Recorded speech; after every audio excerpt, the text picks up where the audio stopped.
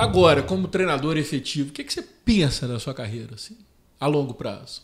Bom, tá começando, como eu falei para os Seleção, seleção? É, Tô engatinhando. Eu ia falar amarelinho, amarelinho. Não, eu tô engatinhando, eu tô num processo de, de aprendizado, né? Como eu falei para vocês. E isso para mim é assim como atleta também, até no final da minha carreira eu ainda continuava buscando me aperfeiçoar, crescer. E essa nova carreira agora é apenas um começo, mas um começo alavancador, se eu posso é. usar essa palavra. Foi um salto muito grande, foi um gap gigantesco que eu também não esperava. E eu tenho que aprender a lidar com essa subida, tentar equilibrar o máximo aqui agora para que as coisas possam acontecer. Mas o que, que eu espero? Eu espero que o Felipe continue fazendo o seu trabalho, fazendo o seu melhor. Eu falo, às vezes eu, eu não sou o treinador mais experiente, nem o mais capacitado. Né? Tem uma frase que eu uso bastante assim mas que eu tenho uma vontade tão grande de vencer que ele me faz com que eu, eu supere todos os obstáculos, os hum. obstáculos. Então, assim, eu vou nessa linha de fazer o meu melhor todos os dias. Se eu for para lá pensando que, ah, não, não, eu quero fazer o meu melhor. Eu sei que todos também, mas de uma forma diferente, como o Felipe faz. Ser parte de gestor, ser parte de. É diferente, porque é o dia a dia.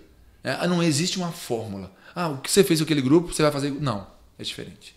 Então, cada dia vai me mostrar como que deve lidar com cada jogador. Boa. Faltou seleção na sua carreira?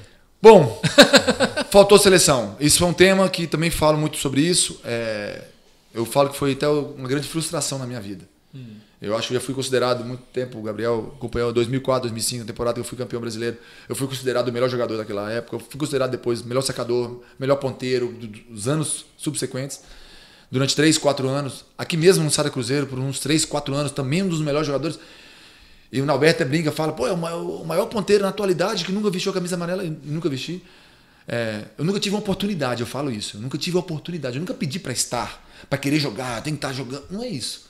Eles nunca me levaram para testar entre os 15, entre os 20, entre os 30, seja lá o que for. O que, que rolava? Não sei. Quem era o treinador? O treinador era o Bernardinho. É. E eu me lembro até quando o William foi pela primeira vez. O William, recentemente. Recentemente, em 2014, 2015. Quando ele volta da Argentina. Isso. É, ele voltou em 2010. Em 2014, quatro anos depois que nós começamos a ganhar tudo, e ninguém, nessa, ninguém do Cruzeiro ia pra seleção. E a galera ficou assim, é. pô, não é possível, o Cruzeiro ganhou tudo, ninguém vai, como é que é assim? Aí os caras já perceberam, tipo assim, pô, tem que ter alguém. E, enfim.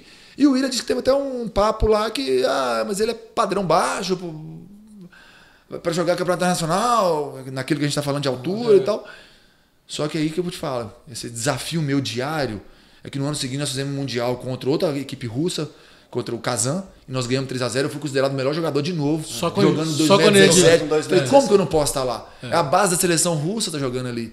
Então sempre foi um desafio quando colocava aí para mim, é. e eu sempre querendo buscar mais. Então eu digo assim, a seleção foi uma frustração. Mas trazendo agora como treinador, eu estou gatinhando. Falar que é sonho? Claro que sonho. É. Qual o sonho de criança não quer representar o Brasil? O Brasil? Seja agora como treinador, por que não? Eu acho que tudo é um processo. Se vier, bem, não penso, não penso. Se vier, eu vou estar preparado. Mas estou aqui tocando meu clube de todo coração.